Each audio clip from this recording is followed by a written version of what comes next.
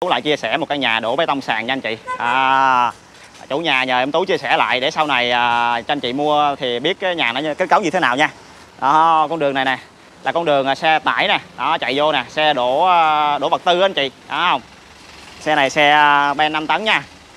Đó, còn cái này nè là cát đổ là cát vàng nè anh chị thấy không? Cát vàng. Giờ đi em Tú sẽ chia sẻ sơ xung quanh cái nhà cho anh chị xem nha. Đó xe đổ vật tư nè chạy vô nè. Anh thấy còn anh chị còn thấy còn trống không? À, không. Xe đổ. Còn cái cái cái đá này xài nè. Là đá xanh nè anh chị. À, đây. À, tưới trước khi đổ bê tông nha. Tưới cho nó sạch. À, tụi em tưới sơ chủ nhà đã tưới sơ qua rồi. À, còn đây là xe vật tư đổ vô nè anh chị. À, và bây giờ đi vô trong nhà nha. Đi vô nhà. Coi cái dàn trống ờ, ờ, để đổ sàn cho em tú. Đây. Cái nhà này là ngang năm và 28 đó anh chị. Ở thị trấn Đức Hòa Long An. À, giờ đi vô trong nha. À, trước. Đây là cái ờ, uh, chống sàn nè anh chị. Đó. Trước khi đổ sàn thì mình sẽ làm cái uh, hệ thống sắt để chống cái uh, cái sàn bê tông giống vậy. À, dàn giáo sắt. Đó, ở trên là sàn tí nữa em tú sẽ lên chia sẻ trên đó anh chị xem. Anh chị nào muốn à, mua à, những căn nhà như thế này á thì liên hệ em tú nha. Trong lúc xây dựng em tú cũng dẫn anh chị đi xem được luôn nha.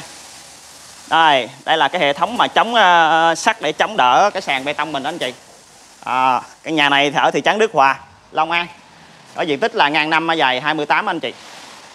À, thì, thì à, khoảng à, 2 tháng nữa là xong xây dựng xong căn nhà này anh chị. Đây là hệ thống à, sắt nha à, sàn để chống sàn này. Bây giờ em tú sẽ lên trên. Quay sơ cái hệ thống ờ, cái cái cái sắt ở trên đó. À, cái hệ thống sàn ở trên đó cho anh chị xem. À, cái nhà này thì chủ nhà nhờ em tú chia sẻ lại. À, để sau này à, anh chị đó là cầu thang đó anh chị. Để sau này anh chị mua thì sẽ biết cái nhà mình nó như thế nào. À, em tú chia sẻ lại. Cái nhà này là chủ nhà nhờ em tú chia sẻ lại nha anh chị. Giờ em sẽ leo lên trên nha. Bất động sản tú võ an cư và đầu tư đây anh chị em tú đang đứng trên cái nhà mà hồi nãy em tú chia sẻ ở dưới này. À, đây là cái sàn. Ê, còn đây là trước mặt nhà này.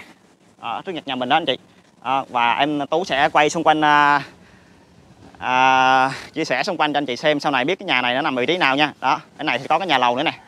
Còn bên này thì là à, cách khoảng à, ba bốn chục mét thôi là ra tới cái à, cái đường à, nhựa Nguyễn Thị Thọ nha. Ở thị trấn Đức Hòa Long An còn đây là cái sàn mà chuẩn bị ờ, đổ bê tông này. Đó cái sàn này nó như thế này nè. Và bây giờ em sẽ tú sẽ chuyển lại camera sau. Quay sơ cái sàn à, trước khi đổ bê tông cho anh chị xem nha. À, hệ à, thống sàn nè đó sắt và đà. À, ở dưới sắt thì sẽ à, à, chống cho chống sàn rồi mà còn phải à, chảy lớp bạc nữa anh chị. Đó anh chị thấy không? Đó. tí nữa đổ bê tông sàn sẽ là là đổ tưới nước cho nó sạch cái uh, bụi bẩn rồi mới làm anh chị. Đó. đây là hệ thống sàn nè. Chia sẻ cho anh chị xem nha. À, thì sau này sẽ biết là căn nhà này mình mua nó có phải uh, sàn thiệt hay sàn giả hay sàn bê tông gì đó thì sẽ xem cái video của em tú là sẽ biết. Tại vì chủ nhà muốn cho anh chị biết nhờ em nhờ anh ờ, nhờ em tú qua chia sẻ lại những cái, cái video như thế này anh chị. Chỗ này là cầu thang này đó. Chưa đấy là cầu thang này còn đây là đó toàn bộ sàn bê tông đó nó làm như thế này này chủ nhà làm như thế này. À, nên là nhờ em tú chia sẻ lại. Để sau này anh chị mua thì à, sao biết nhà mình nó xây dựng như thế nào đó không? À, đối diện nhà mình có hai căn nhà cấp 4 mấy đó, đó, đó không? Sau này sẽ biết như vậy. À, trưa nắng nhưng mà em tú thôi cũng làm xuyên để mà chia sẻ cái mùa trời mùa hè này nóng lắm anh chị. Em đang đứng đây này là 11 giờ trưa đó nó nắng kinh khủng khiếp. Đây anh chị thấy không?